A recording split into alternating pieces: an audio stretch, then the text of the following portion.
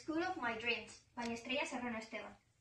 My ideal school is where, when leaving, people would always want to come back again, where no child feels repressed or forced, where every child feels responsible of their own growth and learning and free to work on topics that make him or her feel enthusiastic for being able to work in ideas that could turn into reality. To offer this freedom is important the support of the rest of the entire education community. A child is a potential human without prejudice that moves for its interests and likes. That's why their growth is strongly affected by the circumstances that surround them. By definition, the child is someone with a responsibility. It needs a representative figure that disappears at a certain age when the child is mature enough to face the adversities. Some, of some the child, sometimes the childhood is seen as a very critical period, so adults tend to create a bubble around them so that they cannot get hurt by anything or anyone, anywhere and anyhow. In the school of my dreams, every child is seen as one that is learning how to become a responsible adult, getting help but not accomplishing expectations, just solving problems by, by itself. By the other side, we have children that get too many responsibilities too early. In this point, I like very much the idea from the liberal education, which main objective is to produce open-minded people free from dogma, preconception, or ideology. The counselors are adults that may act as a guide, being enthusiastic with their work, and finally leading the child to a happy life where he or she knows how to express itself in any occasion, so that they will feel like coming back to school every time.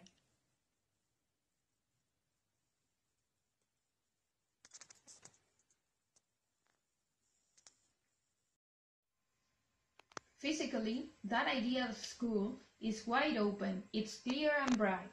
Everyone has its own space to reflect, write and watch films, documentaries, TV, even to have a nap to skip the noisy places or keep their personal belongings. About the common areas, we have classrooms, but used as options, not as the main place for the process of education. There are various counselors conducting projects that will treat various contents at the same time. The classroom would be full of instruments and new technologies, giving the counselors enough material to prepare more complex activities that make the participants work more efficiently. The child needs time for itself without instructions too. And the, the school will provide also some areas with ludic or educational games for them to develop their humanistic skills in a non-observational period of time. Finally, the bathrooms will be shared by everyone, no matter the gender.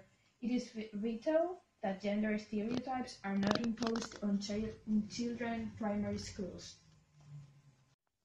These are the values that give shape to my school.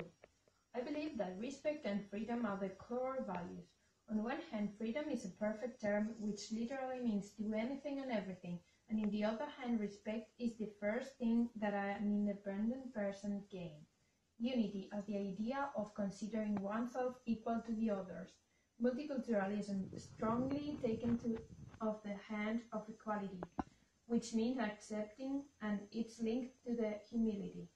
Integration and inclusion as the representation of a preparation for the real life. Integral education, seeing the childhood as the years when experimentation plus curiosity is key. Ambition to avoid the pupils to become conformists. And happiness, having the emotional competence as more important than the knowledge, helping to rationalize feelings and improving the self-confidence.